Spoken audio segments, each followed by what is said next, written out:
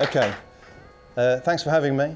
Um, so yeah, yeah. Um, so it's agile by stealth. Uh, so I would love to work on a project like the one you just described, where you say we're going to do agile and we get a team in, uh, and we're you know we're kind of going to be agile from the start, and we'll kind of learn and develop, and, and we'll form and storm and norm. But most of the projects um, I've worked on as a as a freelancer uh, have been anything anything but that. Uh, so this is about more about agile transformation, um, and um, the, uh, the use of the word stealth. I had some uh, on, on the blog. I had one guy said, "No, you should never do anything by stealth. Agile's all about transparency." I'm not saying he had exactly that accent, but uh, that's how I imagine him to be very pompous about the whole thing. Um, but it's a, you know, it's a little bit tongue in cheek, as, as hopefully you'll see. So look, let's talk about me. Um, I, I, I, describe myself as a business analyst designer. Um, so I, you know, I do a lot of uh, BA type work, but take very much a, a, design perspective to it. So I'm not one of these uh, requirements gatherers. Um, I'm, uh, you know, I kind of, I guess in, in line with the, the agile ethos, I like to uh, work very collaboratively with people and we work together to come up with uh, what the uh, what the solution or the change is going to be. Okay, and I'm a, a facilitator of that, and I have active design ideas myself as well. But I'm also I am able to speak to real human beings um, out there in the business. So I kind of try and meld all that together, um, but it, it kind of feels a little bit different from the you know the way other people uh, describe the BRL, especially outside of agile circles. Uh, so I'm local, like well from from uh, Cheshire originally, but I've been in Yorkshire long enough now. Uh, and I've worked for a bunch of um, uh, uh, companies with a presence in Yorkshire. Um, and as, as Rose says, I, I, I write the, the blog in my spare time. That's my giving something back thing. So this uh, tonight's talk is, is uh, kind of a, a talky version of an article that I wrote on there earlier this year. And I do a bit of agile training as well. Um, so that's me. Uh, just let's talk about you guys. So uh, who would describe themselves as a BA in the room? Anyone? One, two, okay. Scrum Masters, few, developers, mostly, specializing generalists, generalizing specialists even. Yeah, very good. See, that was the right answer. I did everything. I just fit the role. Okay, fine. Just know you, we, we know what you all are now. So, yeah, so I'm going to talk about agile transformation. So there was a guy here uh, last week, John, uh, last month, John, who uh, works for these guys, uh, and uh, coincidentally and ironically, Roy said, yeah, these guys will be, uh, they're coming up north and you'll soon all be working for them. I start working for them in about three weeks' time. Um, and we do need another Agile BA, so if anyone's interested, see me after. Um, that's the, the shameless plug done. Um, so John talked about uh, some of the uh, some of the challenges they had on, a, on an agile transformation that they'd done. And uh, it was really, it was kind of inspired me to talk about this as well, um, because it kind of follows on from, from some of his uh, stuff he said. Um, and it's been hard in my experience. So I'll talk a little bit about why I think that is. And you know, why would you, why would you want to do it anyway? Um, and then how to do it. So this is not kind of, this is how it works in all situations. This is actually, here's my experience across three or four projects kind of melded into one semi-coherent story. And you may be able to take some stuff away from it that might work for you. Um, and, uh, and the key thing is to never mention the A word whilst doing it as well. That's like a little personal challenge, a bit like my other personal challenge, never to mention the word requirements on a project. Um, so, so that's the agenda. Okay, so let's kick off. So, so first of all, and obviously I'm preaching to some extent, or hopefully to a large extent, to the converted here. But just as a quick reminder, because it's always good to remind yourself why you're trying to do something. So why would I want to transform away from a waterfall type project delivery method to something more agile? Um, and thinking what's frustrating or wrong about waterfall really helps when you're thinking about the transformation. So for me, the big first thing, this has got a laser on it. How do you think I'd do the laser? Ah, wait a minute. So scope bloat, okay, so there's a lot of when we talk about agile, we talk a lot about uh, early and continuous and frequent delivery of high value software and the feedback loop and all that kind of stuff.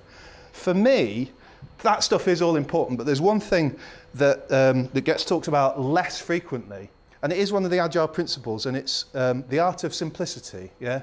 Um, So maximizing the amount of work not done. So my experience on big projects is that when you start a project and you say, oh, I've got a budget, I've got a million quid or 100 quid or a thousand quid or whatever we've got, what do you want? What's in scope? The objective is this. Now, what should we build? And you, you know, you kind of wheel in everyone who might be a stakeholder and they go, I want this, I want this, I want this, I want this. And You write all these things down and you end up with a massive scope list like this. And, and it's particularly symptomatic of, of a waterfall project because everyone thinks, oh, shit, if I don't, um, can I swear? I just did. So if, um, if I don't ask for this thing now, I'll never get it. They're going to build this thing once and once only, and my thing that I want is going to be, it's got to be in there, okay? So even if I'm not really sure whether I need it or it's low priority, I've got to get it on the list.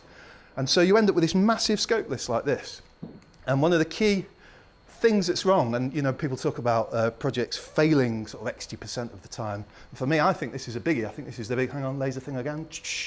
Scope bloat, I think, is, is, is a bigger problem than, than we all think, okay? So that's why it's at the top. Second of all, then, so all the rest of the stuff you'll definitely all with. It's slow and laborious. It takes ages before you get anything delivered, okay? Architectural risks don't come up until quite late on. They don't get resolved till quite late on. Functional risks. So you build it, and, and then you only get to show it to the users in UAT, and by which time, you know, you spent all this time building it, and they go, oh, yeah, I know I said I wanted that, but uh, now I see it, I want something different. So functional risks only come out late on it resists change. We, we're all familiar with that. Um, the cost and duration is uncertain. So we'll have a plan that says it will take this long and it will cost this much, but it never actually will because by the time we're finished, we'll have had that many change requests through that it will have taken a lot longer and it will have cost a load more as well. So doesn't actually have much certainty. And we'll talk about that in a minute. Uh, resource leveling as well. So in Waterfall, you've got your, you know, your BA up front and he's really busy, he or she or they are really busy for a while and then right okay we've got the design or the you know the the, the things we want to build. And then uh, we've got the you know build team build and then you've got tests. So the big humps of of activity. And the rest of the time people are either sitting idle or more likely they've been shunted off onto other projects. So you know they're not all there at the same time. So you lose the expertise from your from your BA and uh, half your developers disappear during tests so on and so forth. Yeah that's really frustrating. And then tied in with all of that stuff, team motivation. So big long project, don't deliver anything for ages, resist change, uh, cut corners, project manager getting angry, team motivation not so good. So we are all presumably familiar with a lot of those things. Ah. Uh, so that's just a reminder. So it's good to do that. Why am I trying to do it? But um, agile, agile's scary for a lot of people, and especially people who've been working in plan-driven environments, large organizations for a while. And um, I've got this kind of, uh, this analogy, which I'll share with you. It might work for you, it might not. Um, so imagine a world where uh, we live in a communist state. So uh, we decided the best way to organize our uh, country economy is to have it planned centrally. Okay, so this is the project managers in charge now. And um, so, right, well, this, this makes a lot of sense. We'll kind of, you guys can do that, and you can do that, and there'll be handoffs between there and there, and you can build that, you build that, and we'll, we'll plan it all out, and then uh, that should work. Uh, and then, and then it doesn't work that well, as history has told. Um, and it turns out, apologies if there are any communists in the room. Are there any communists in the room? Oof, could have been a big clanger there, couldn't it? Um, it turns out that a, a, a free market-based economy seems to work a lot better, even though it sounds like a crazy idea. So we'll set up multiple companies all doing the same thing. We'll have several supermarkets, we'll have several uh, trainer shops, we'll have several shoe uh, whatever else. We'll have several of everything, and they'll all compete with one another. That just sounds massively wasteful, doesn't it? It just sounds like a bad idea. And yet, it creates the right dynamics in the set of incentives to make things work. But it's counterintuitive almost until you've actually seen it in action. And I think, does that work as an analogy for Agile? Yeah. Is anyone getting that? Good. Was that you? Yeah. Thank that you. Was. Thank you. Right, okay. okay, you've, you've, you've gone above where I was expecting to get to, but good, thank you. So, so but that's the point, isn't it? It kind of sounds counterintuitive if you're, if you're used to planning things out. You know, planning uh, makes sense, and we'll, we'll, we'll, we'll work it, we'll design, then we'll build, then you know it just seems to seems to make sense. Agile, uh, what do you mean we don't know what the scope is yet? You know, uh, what do you mean you don't know when you'll be finished? Uh, and we'll, we'll definitely have to do some rework. We're going to have to refactor stuff. You know, couldn't we just get it right first time? So, you know, when you explain agile to, to people who are not used to it, it's, it's, it's scary. It sounds like a recipe for disaster. A project manager friend of mine says, well, failing to plan is planning to fail. So, the safety of plans. Plans give the illusion of certainty, don't they? They kind of say, right, yeah, we're going to do this and this and this, and then we'll be done. And we know what we're doing, when we'll be done, and how much it will cost. But it is just an illusion, yeah? Um, and why is it an illusion? Because estimating software delivery tasks is just so hard. Every team's different. Everyone's always mostly optimistic because it always feels like it'll be quicker than it actually takes. Um, and also getting it right first time is really hard because only when you show it to the user do they then think, oh, that wasn't really what I wanted. And the business changes and so on and so forth. So, so the plan gives you the impression that you know what you're doing when actually you don't. So, so here's, a, here's a story. Six months ago, uh, I, uh, in fact, it's longer than that now. It was last April. I started on a project, and um, and uh, it started already, and it had all the hallmarks of a well, every project I've probably ever worked on, to be honest. So it had a load of scope, way too much scope, more scope than you actually needed to achieve the project's objectives. And it looked like things change. It was a data project, and data always changes, always data quality issues and stuff like that. So it was, you know, it, it looked like it would, things would change as we went along. The deadline was fixed, and I'd just done a project exactly the same, very, very similar. And, um, and on the previous project, we, we kind of nailed it by doing a phased delivery. Okay, I wouldn't have called it agile in a kind of XP, scrummy kind of the way. Uh, but it was, we were definitely on phased delivery and we were prioritizing and delivering stuff bit by bit and it was working really really well so so i went hey guys i'm new in you don't really know who i am and you don't trust me but i've just done the, something really really similar. And uh, what we should really do on this is phase delivery okay? I didn't, didn't say agile. Let's do phase delivery. And they kind of looked at me and went well we don't know who you are. And we're not really sure about you. So uh, no you're wrong. We'll just carry on as we are. Um, so the proposal was, was knocked back. It was rejected. I was still so I still worked on the project, uh, and over the last nine months or so, I've kind of done a sort of repeat of what I had to do last time actually, which was rather than just go in and say, right, we'll, we'll do this agile thing like you guys got to do straight off. We, uh, I, I kind of said, okay, well, we'll do this one step at a time then, stealth style, sunglasses on. So, um, agile by stealth. So, um, Here's the thing, uh, and I, I said before about stealth. So it's not really about being stealthy and deceitful. This it's it's about rather going on a step-by-step journey. Okay, where each step along the way is only a, it's a small enough step that your people around you are willing to take that step with you, uh, with a little bit of kicking and screaming maybe. Um, but each each step kind of has a merit in its own right. So you can say, well, why don't we why don't we do this? and, and we'll do this because, um, and you, you, know, you can justify in its own right. Uh, whilst at the back of your mind, having an idea of where you're trying to get to, um, but kind of not all at once. So the all at once approach didn't work. So, um, so risk mitigation turns out to be uh, your friend in this, uh, in this endeavour.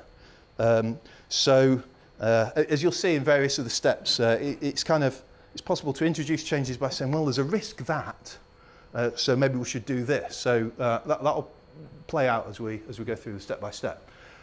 Um, one of the key things was, as I said, not trying to introduce everything all at once, uh, but only when the time was right. So I had had to go through a few steps before I was able to present the next step. You know, if I presented, right, here's my, here's my plan, here are all the steps we're going to go through, up front, then it, everyone would have been, no, no, no, we're not going to do that. Uh, you're just trying to do that phase thing again, bit by bit, aren't you? So uh, th that was a sort of stealthy bit, was saying, well, I'm not going to introduce this all at one go. We're going to go introduce each idea when, when the time's right, okay?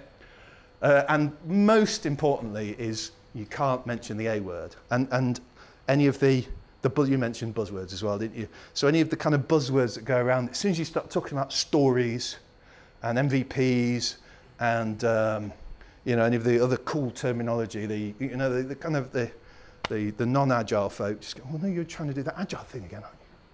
But if you use uh, normal non-agile words effectively mean the same thing, then it's like, okay, I get that. Features, that sounds like a good idea. Yeah, it sounds much better than that stories idea. It's the same thing. Um, so, uh, and if anyone says you're trying to go agile, you have to actively deny it, of course. I am playing this up a little bit for comedy effect, but you know, you get the idea. So, so, so, so. Um, as I said, um, my, as well as doing a bit of agile training and a bit of kind of team leading, scrum mastery type stuff, the main thing that I've done in the last few projects has been kind of agile BA with a bit of solution design, architecture type stuff thrown in. And the approach that I'm going to show you is largely a BA driven approach. You'll see why when you see the steps. So it helps to be the BA. So you're in a good position, and there was someone else as well. Um, and everyone, everyone else, you, uh, it, it's harder uh, if you don't have the BA on board. So I worked on another project where the BA was oh, always, it was hard work. So I was trying to say, well, let's, let's break it down into features. Mm, no, I'll just I'll just write this big long spec. Oh, no, no, no. So it's, it's quite difficult without um, uh, the BA buy-in. Uh, but a project manager or well, you wouldn't be a scrum master if it wasn't an agile environment, would you? But it's it's possible to do it as a project manager if you can persuade the BA to uh, to get involved. And likewise, if you're kind of a tech lead or dev lead or, that kind of role, if you can persuade the BA to work in this sort of way, then it works as well. Anyway, see what you think. See what you think. Um, here we go, step one, step one. Right, so there's, there's quite a lot of steps. Uh, we're aiming for, what do we say, 5-2, 10 2, 5 2. There's about 15 steps, so I've got two minutes per step, and probably a bit less because there's a few bits after that as well. So let's fire through. Some of this stuff will look fairly familiar. So as a BA, on a project, starting off, the first thing you want is a kind of a scope list, okay? And I've done this uh, kind of fresh onto a project and also when a project's been in flight. So a couple of projects have been on and been in flight already with a big long requirements document that's kind of half finished. Uh, so either extracting the scope out of people's heads from scratch or taking a big long document and working through it and saying, right, I can chunk it up into, I'll call them features and, that, and that'll be a scope list. So no one in any environment really can, can argue with the concept of having a very simple and easy list of project scope as it is currently known. And on a, waterfall project, they would say, well, that is the project scope, okay? So here we go. And I'll give them all numbers, and I'll start them with F because they're features. And I'll give them a name, and I'll give them a description. And I won't use the as a I can so that notation because that's way too agile. And I won't call them stories. And I won't worry too much about granularity either. So um, obviously one of the one of the techniques um, on agile teams is having epics and splitting them into stories and so forth. This is my first step where I'm just getting the scope all down, okay? I'm not too worried about the granularity.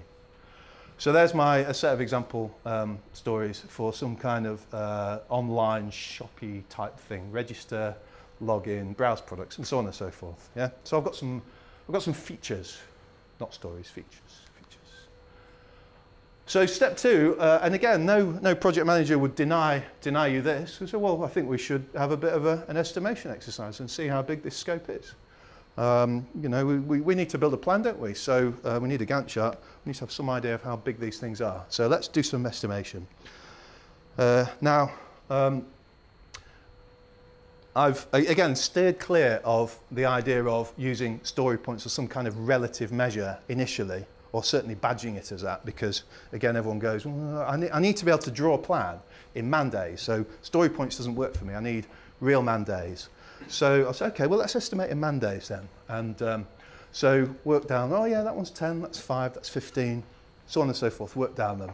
And then at the end of the, the session on this project so okay well so there's a man days but I think uh, you've probably given me those estimates in perfect man days haven't you? And we all know that no man day is perfect so uh, we need to add in some contingency, which is kind of standard project management uh, approach. Uh, and I think, based on my previous experience, uh, I think we should add 50% in. I know that sounds like a lot, but I think we should add in 50% because um, there'll be a lot of imperfect days.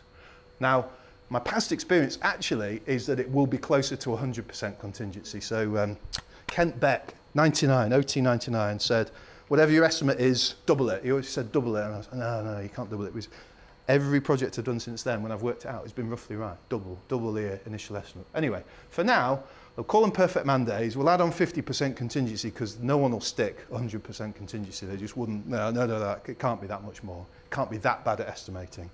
And then we'll add on some extra effort for, for analysis and tests. So we get a kind of a total number of man days and then I can turn that into a budget. And bingo, we've got a plan. We've got a plan and roughly we've got a budget, okay?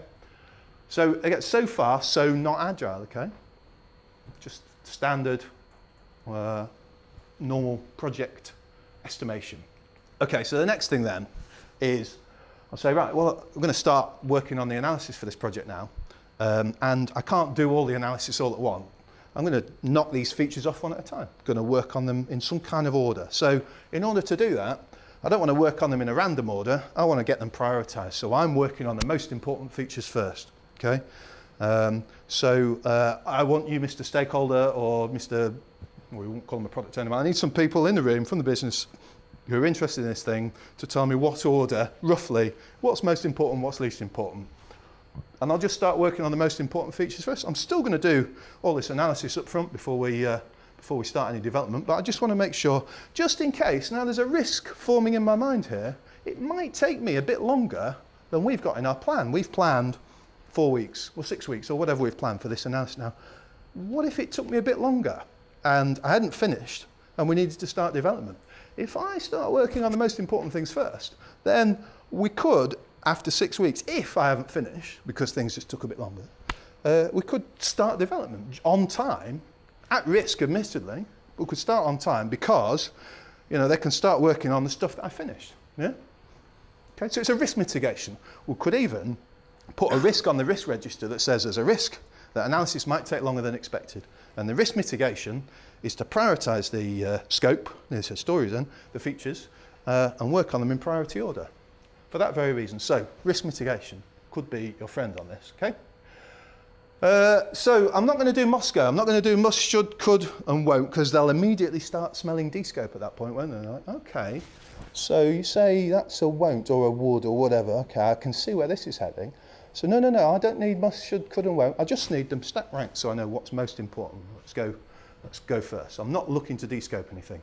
I'm definitely not grooming, well, it's not a backlog anyway, and I'm definitely not grooming it. When I talked to my project manager today about, he, said, uh, what, so what would you say your job description is? one of the things I do is groom the backlog. That's becoming a creepier and creepier thing to say, isn't it? you know, he said, um, he kind of mentioned Jimmy Savile, and it all went downhill from there. Um, but, um, you know, again, agile terminology doesn't work for everyone. Um, so, so, okay, I've got my features, I've prioritized them. I'm going to go a little bit crazy now and start to appear very slightly agile by putting them up on the wall on a task board, okay? Um, so, and I'm going to put them in my priority order. Um, but I don't have any columns yet because I've not actually done any work yet. I've just got a list of prioritized features. I just kind of want them up there so I can see them and love them and get excited about them in advance. And any of my stakeholders passing can make sure they're all still in the right, right priority order, okay? Uh, so up they go. Hopefully, I've got a very tall, thin wall in order to get them all in, because any project that's bigger than 10 features, I'm going to have a big vertical pile. But I can, you know, maybe I could have, I could have a snake or something like that. So there are my features. I've put my little uh, uh, perfect man day estimates in the corner as well. It just gives me an idea of how big these things are relative to one another. So I've got an idea on maybe how long the analysis is going to take. Step four, 29 minutes past. Okay, we're doing all right, I think. I think we're doing all right. So, okay, I've stated an intention to work on these things bit by bit, feature by feature, incrementally. So that's what I'm going to do now. I said, as I said, as a risk mitigation, I'm going to work through feature by feature. Now, without getting into too much detail, this is my um, kind of mini analysis life cycle, if you like. So I go through this process of request, which is like, you know, the feature gets created and added to the list in the initial scoping thing. Uh, and then it sits there for a while, hence the little clocky thing. And then for me, define is like, all right, well, I've just got a, literally a paragraph on this thing. Let's understand a bit more what it is. Because um, although we've maybe done some estimates on this, I, I really need to understand it in a bit more detail. And maybe there's different options for how we might achieve it. Is it system build? Is it business process? Is it a mixture of the two? Is it going to be automated, manual? How's it going to be? So I call that define. And including that whole lot of um, options analysis and also feature splitting. So if, if it turns out it's a really big feature, that's the point where I might say, well, we'll do it in two phases because, um, well, for all sorts of reasons, one of the main one would be that I realised that uh, this feature's got some really important stuff in it and then some less important stuff in it. So I want to give myself the ability to sub-prioritise. So actually what that means is I'm going to carve out a phase one, which is the stuff I think we probably need in, in the minimum viable product. And then a phase two stuff, I'm going to put in a and here's everything else feature. And then at some point, hopefully we'll prioritize that down the prioritization list. So I do that in define. And then the bit that I call design is, is kind of functional specification uh, or BDD scenarios or acceptance criteria or however you want to get to the point of saying this is our contract for what we're, what we're going to build and what we're going to test against and what we're going to deliver. So that's a kind of high levelsy type stuff and that's a bit more detailsy functional design, not kind of technical design. And I might do uh, logical data models and wireframes as well at that point if, uh, if they're appropriate in the environment. So, uh, so that's me doing incremental analysis feature by feature, uh, including feature splitting, Okay, so um, once I start doing that, then I'm going to start feeling the need for columns. Okay, so previously I just had one column on my task board, but now I've got the concept of features being in, in this define phase, define complete, ready to start the design phase. I'm a little bit, I get a bit carried away with some of this stuff sometimes. It's in the design phase and it's design complete, Ooh, ready for build. Oh, no, no, not ready for build yet because we're, we're going to finish it all before we start building, aren't we? Unless I'm running late. So, so my task board now starts to look ooh, a little bit more like, what's one of those agile boardy things he's doing there, isn't it? No, no, no, it's not an agile board. It's just me tracking my progress on a board. Okay. So once I've started doing incremental analysis, I can start tracking my velocity. So project manager is going to be really interested to know when am I going to be finished? And I always say, well, how long's a piece of string? But I can, can have a go because we've put some estimates against the features, which admittedly are build estimates. They're not analysis estimates. But roughly speaking, a feature that's big to build could be big to analyze. It's not always true, but you know, as a rule of thumb, uh, the small ones might be quick to analyze and the big ones might be slower. Okay? Uh, so I could do my velocity by using the, the PMD estimates I had. So once feature A, feature, feature one's complete, or analysis complete, then um, you know, I can say, well, that was, I don't know, 10 perfect man days. So, hey, in the first week I got 10. And the next week I did really well. I got up to 50 uh, and so on and so forth. So I, over the one, two, three, four weeks, um, well, you can start to see a trend here. I could draw, I could extend, extrapolate that line out there. And because my total scope is 200 of these perfect man days, I'm going to be analysis complete around about there, you know, and then the, the, project manager takes that exact date and takes it as a concrete commitment to when I'll be finished, of course. Um, but, um, uh, you know, that may or may not be the planned completion date. And if, it's, if it is, great. If it's not, then he's going to think, oh, right, okay, so we're going to push the project to the right here? Or we could always start development early. What we're going to do? So we, we've got some information early on about how we're really doing on analysis, okay, based on actual um, estimates of how I'm doing. So that's, that's step six. So step seven, okay, here's the first sneaky bit. This is the way the, way the sunglasses go on. Um, proof of concept. So I've now done some analysis on, on a bunch of features, and I've realized that some of them look a little I like them as some kind of novelty or you know some something that's not run of the mill, either architecturally, technically, so it looks like some technical complexity there, uh, or or maybe functionally. So I say, well, you know, this this doesn't exist in the marketplace currently. Um, it's new, and so you know, there's a there's a we'll have a guess at how how this could work, but when people get to use it, that's when we'll really discover. So hey. Um, maybe, maybe we should look at doing a proof of concept. Um, so I know this is a bit of a novel idea in a waterfall world where I'm still in design, but I'm just thinking that there's a risk here. Again, the risk register is my friend here. There's a risk that, um, that, that, that uh, some of this might be a bit tricky. So what about a proof of concept? Um, and so this is a conversation with the project manager, obviously, and so let's get some developers in. Let's get just one or two guys or gals in and um, uh, get them working on this proof of concept. And then uh, here's a couple of extra bonuses. uh, they could participate in the analysis. So one of the things I find frustrating early on in projects is no developers there. there is no one really to validate whether the things we're proposing to build are technically, technically feasible. You know, they fit in with the incumbent uh, extant uh, architecture and so on and so forth. So if we got them in, uh, they could do that. They could start getting the environments ready for when build starts. You know, we could just kind of steal a march. So, um, and then the proof of concepts, you know, if you say, well, it's, it's a waste of time, it's a waste of effort, you know, we could potentially uh, build it, and then if, it, if it's good, we could build on top of it. So it could be productionized potentially. Okay. Uh, so if, if, if I get agreement to this, then I'll, I'll, um, I'll say, okay, either one of my features that I've already got is the subject of the proof of concept. Or maybe I'll carve out some part of one of those features that I've already worked out what it's going to be. And we'll use that as a subject of a POC. And we'll, we'll take that feature through a life cycle in miniature. We'll build it. We probably won't test it formally at this point, but we'll show it. We'll definitely show it.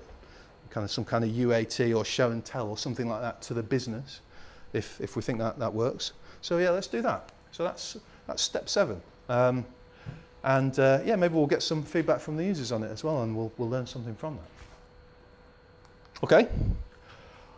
Step eight then, hot on the heels of proof of concept. So if I manage to get some uh, developers in and they've started doing some build work on a proof of concept and they finish that, and they're budgeted to the project already and they're twiddling their thumbs and hey, hang on a minute, I've just had an idea. Um, we, uh, I've got a bunch of features here that have, have been analysed. I've done the, the, the, the, I've worked out what we're going to do, They accepted the criteria, and um, they're ready to go. They could start build on those. They could actually start build early, and that would mitigate the risk of development potentially taking longer than we thought as well, wouldn't it? We could steal a march. So um, uh, so obviously now the big challenge that comes at here is, well, hang on a minute, you've not finished all the analysis. What if you get over there and you realise that that bit over there would need to change and we've done it wrong? That's wasted effort then, isn't it? Do you know what? You're right. You're right. It could be. There is a risk of rework. So to mitigate that, let's choose a feature that we're pretty sure isn't going to change. It's something that we're all fairly certain on. It's not too novel. Uh, it doesn't look like it'd be impacted by the other areas. It's fairly standalone. We could get started on that. Um, and, uh, you know, maybe I could say, well, look, we did a proof of concept and uh, a few changes came out of that, didn't it? So maybe uh, there is a risk of re rework, but we'll only find out once we've built it. So maybe we should build some more stuff early and find out what's going to change. Because I've got some proof here that things can change and we, we need to react to that. Uh, it's better to get started as soon as possible. Um, but you, we're not, this is not an agile project, okay? This is still a waterfall project. We're just doing proof of concept. That's, that's standard stuff. And we're, we're mitigating risk by starting development early. Now, if I get to do that, if I do start building, or when I do start building, even if I don't get to start early, I can start measuring build velocity, okay? So feature by feature, if we, uh, and, and this is a big if, of course, if we get the developers to work feature by feature and, and, and finish one feature off each before starting another one and limiting their work in progress, which I, that, that's a struggle actually, because they'll go, oh, this is almost done, and I'll start on this thing, I'll start on that thing, and um, you know, we end up with a lot of stuff almost done but not quite done. But if we can persuade them to uh, finish stuff off, we can start tracking how that's going. Okay, so standard burn up type stuff here. You know, in that week we've got this much done. In that week we've got these aren't sprints, of course, because we're not doing sprints because we're not we're not doing Scrum. They're weeks. But week by week, I can see things improving. And maybe I can start putting this up in the team area and kind of using it as a, as a driver, a motivator to say, look, guys, we've got to get up here. Uh, so, um, you know, and only when you get features complete do you get points. Uh, and points, points maybe make prizes, I don't know. Um, but we can start tracking that progress, uh, actual progress, and after we've done it for a few weeks, then I can see that there's a trend emerging. You know, it's a bit jaggedy, but if I average it out over that many weeks, then there's a line that looks roughly like this. And hey, that's going to hit that scope line. We're going to be build complete on there sometime in October, towards the end of October. So that's our, our first real, well, we had a plan date, of course. So we had a plan date which said, I don't know, end of September. But hey, hang on a minute, this thing here says, looks like it's going to take longer than that. And this is based on actual fact, okay? Uh, so, you know, the, the, the truth doesn't lie. So once we get this, this is our first hint as to whether we're on plan or not. Yeah? Um, and this is really powerful in my, in my experience. You know, when we've done this, Uh, this, this was the thing that started, this is where the behavior really started changing and things started cascading. This was the start of the, uh, the, the move, as it were, you know, the mindset change. So what happens then, of course, is the project manager goes, oh, pants. We're not going to be, we're not, we're not going to be on plan here, okay? Uh, we're going to be delayed and there's a, there's a fixed, uh, fixed deadline here. Well, we need to do some replanning. Right, that's the, the kind of project management answer to, to problems like this. We'll replan and we'll replan so that it all fits. So then we'll go through this frenzy of uh, rescoping and reprioritizing, re-estimating everything. And in the re-scoping and reprioritizing, the business will say exactly as they did at the beginning of the project, which is, yeah, of course we need all that stuff. Yeah? And it's all really important. You can't descope any of it. We need all of it in order to achieve this objective, including all of those things that we don't really need. But we know if we don't ask for them now, we won't get them. Okay? So nothing comes out of scope at this point. And also the developers understand a bit more about what they've got to do and they realize that some of these things are actually bigger than they thought. So uh, the more you know, the more your estimate goes up, right? Okay, so uh, we redo the perfect man days, hoping that maybe something will go down, but actually the opposite happens. The, the estimates go up. Now I know this is, you know, if you're kind of uh, uh, a mature agile team, you don't redo your estimates, okay? You stick with the same level of, of um, understanding about the, pro the, the problem so that your, your estimates are always consistent with one another. But here we, we're kind of, we've let that go a little bit because uh, we, we want to prove a point here. So, so actually, this happens, scope goes up and the deadline goes out. Holy crap, it's going to be the middle of November before we're finished now. I've got to have this build complete by, by the end of September. That replanning didn't quite go as planned. Um, so this, this then is the crunch point, okay? The crunch point is somebody, the business stakeholder or the, uh, the project manager says, okay, I agree, the, the, the graph isn't lying to me. This is telling me when we actually are going to be finished, and it looks like it's a bigger job than we thought. So what can we have? I know I said it was all absolutely mandatory, this scope, but what could we have on the original date? Yeah, if we are sticking to that date, what could we have? And this is the point where we go, aha, aha. Oh, okay, so you're saying I told you so t-shirt hidden under here. So you're saying it's not all absolutely essential and we could maybe deliver a subset of it in initial phase. Okay. Well, let's have a look. Let's go back to that prioritization thing then and let's see, you know, which of these things could you maybe manage without for an initial phase? We'll still deliver them, of course, phase two, but let's call it phase one. What should we aim for phase one? And by the way, we want to be build complete on phase one, well, end of, end of November, uh, end of September. And so that's their first kind of chink in the armour of the business where they finally go, all right, okay, okay, I admit there's a few things in there that maybe we could manage without in phase one and we could deliver a little bit later. So, aha, starting to sound a little bit like a minimal viable product, but we wouldn't call it that, of course, we call it phase one.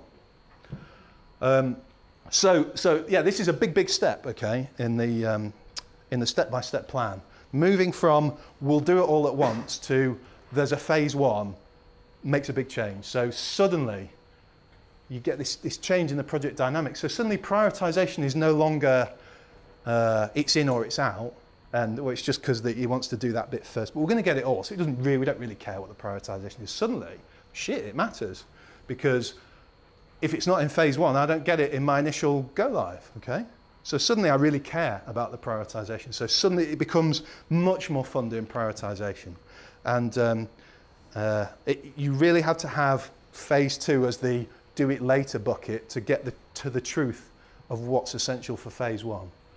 Um, so yeah, we're asking the question, what will fit in phase one? What, what can we fit in rather than I want all of these things? The question really changes.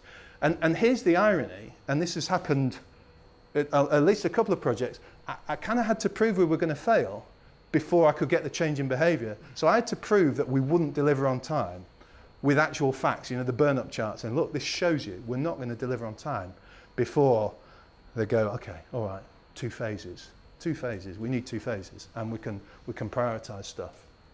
Um, and as I say, the burn up charts have been absolutely, absolutely, absolutely essential for this. Um, you know, the power of historic fact versus future optimism, because when you're working to a plan, you know, and you go, well, we're a bit behind, do you know what, we'll just have to speed up we'll just have to work a little bit harder and a little bit faster for these last few weeks. And then we'll make it on time. And you never do, do you? Never, it's just, it just doesn't happen in that way. You know, you're just really optimistic until the Thursday before the Friday deadline. Yeah, yeah, I'm just going to have this 20 more man days worth of work done tomorrow. And then, and then you don't.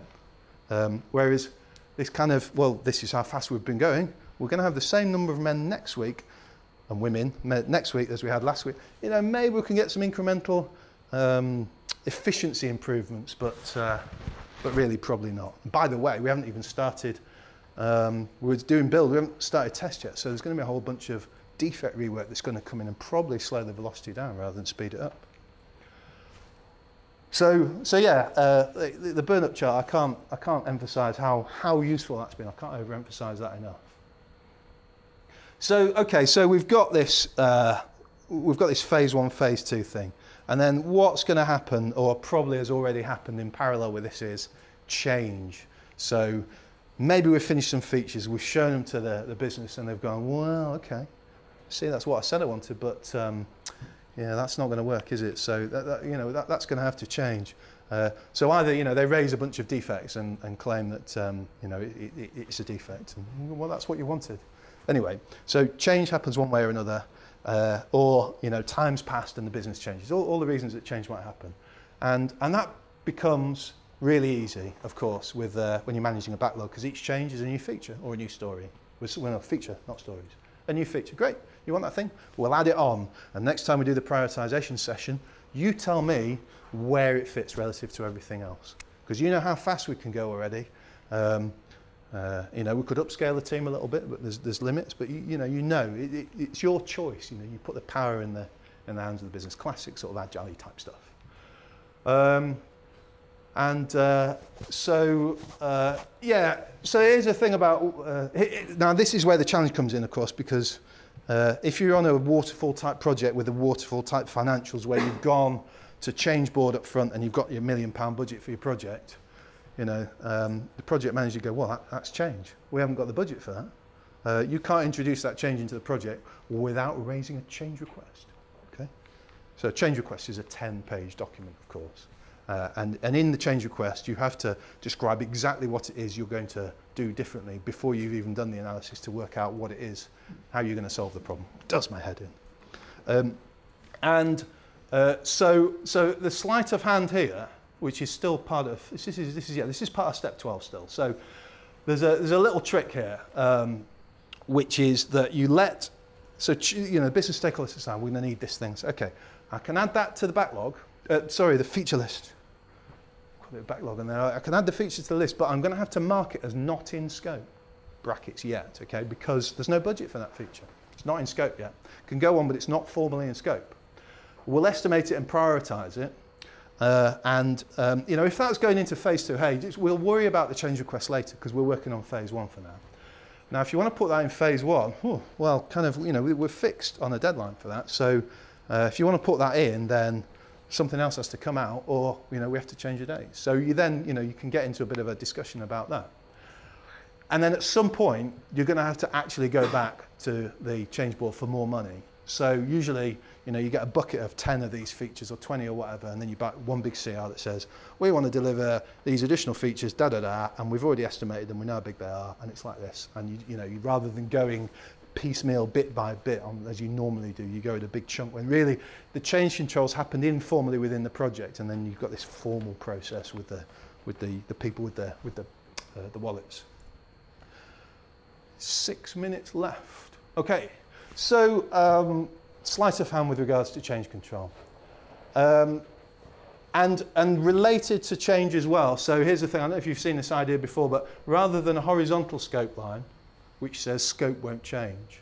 So here's, here's where I am at the minute. Here's my point in time now. My scope line slopes upwards like this because I know change is coming. I don't know what it is yet, but I know it's coming.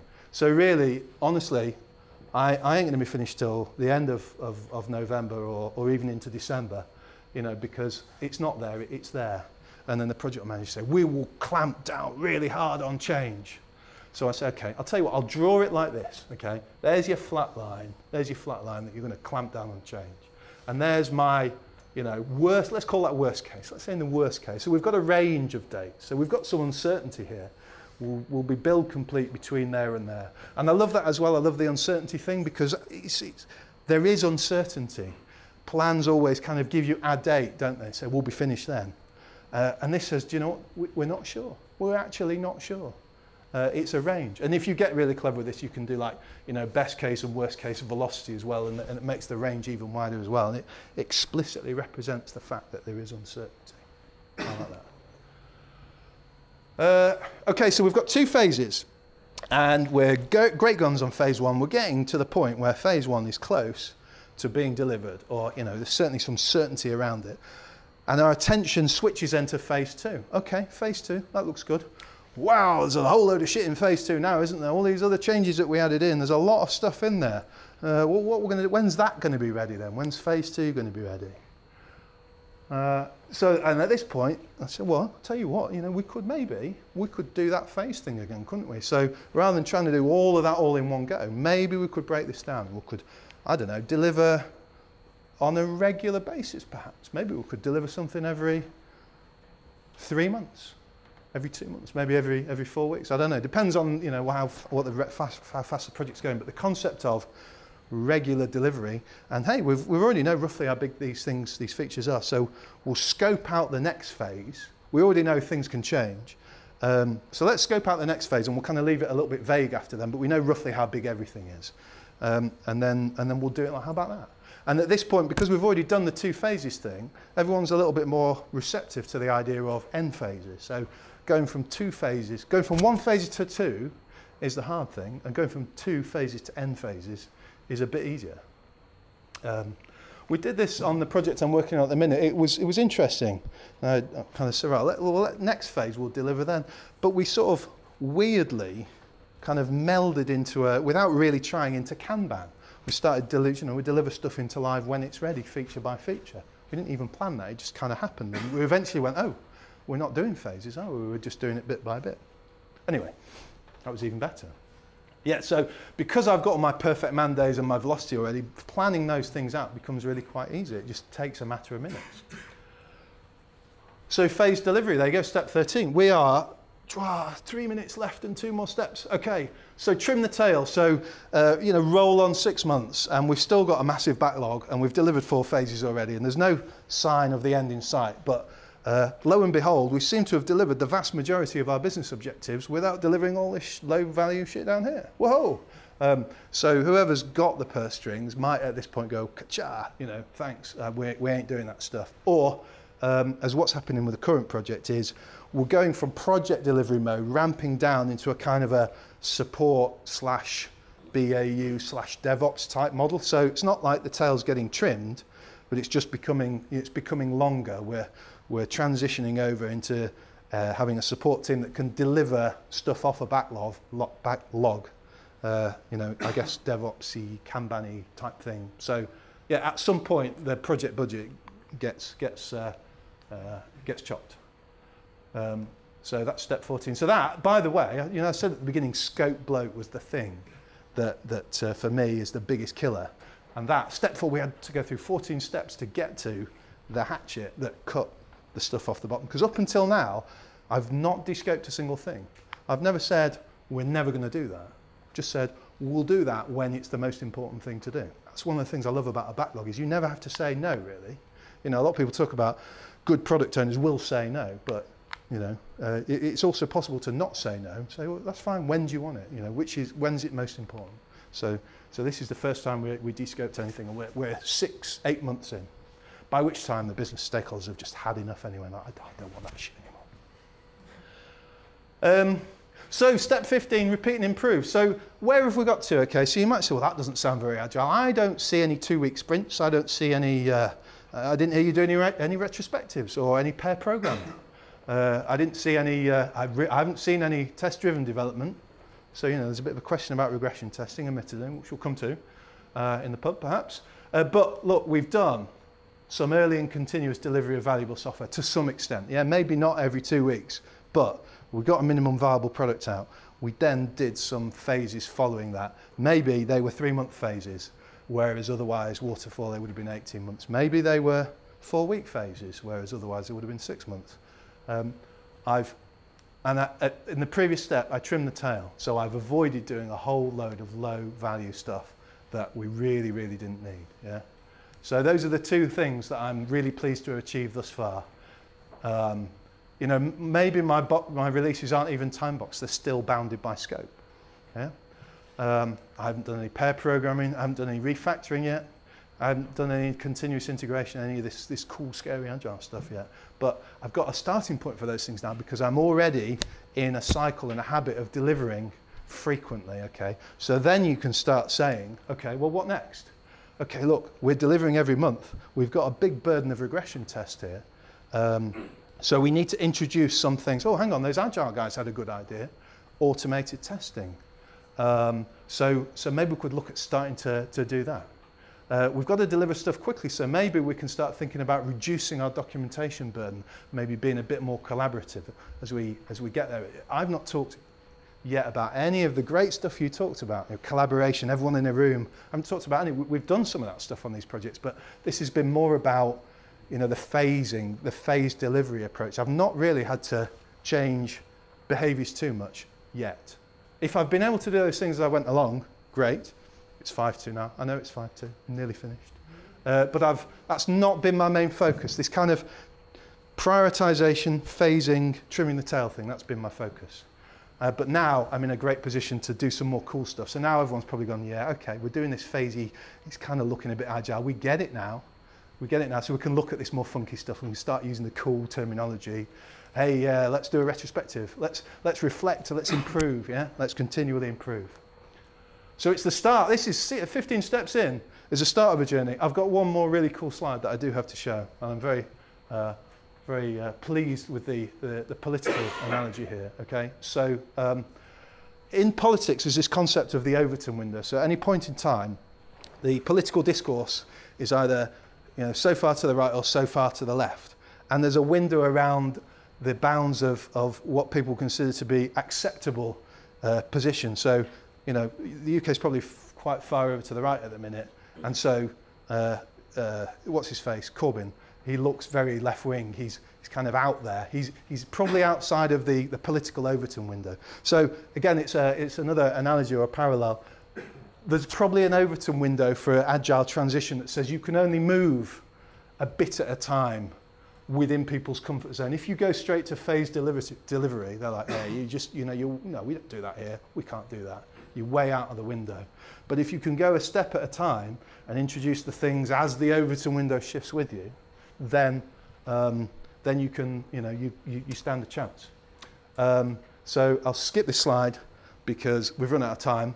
But in very, very short summary, there are challenges which I'll tell you about in the pub if you're interested. Uh, and um, uh, just reiterating, you've got the end goal in mind, but you're going a bit at a time, step by step. Each step has a benefit in its own right. Introduce the changes just at the right time. And avoid the A word. and that's it. Sorry, we ran slightly over, I had to rush a little bit at the end. Um, and we're probably a bit late for questions, but questions.